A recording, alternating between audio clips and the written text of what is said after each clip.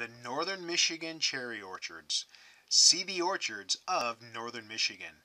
Let's get started as we stroll through the cherry orchards in northwest lower Michigan.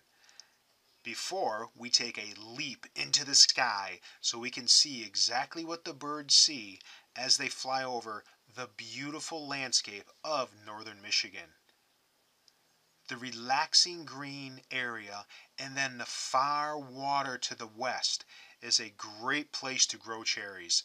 And the benefit is, northern Michigan is located on the 45th parallel north, which is located halfway between the equator and the North Pole.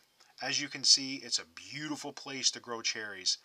The crisp water of Lake Michigan actually helps to keep the cherries warm during the wintertime.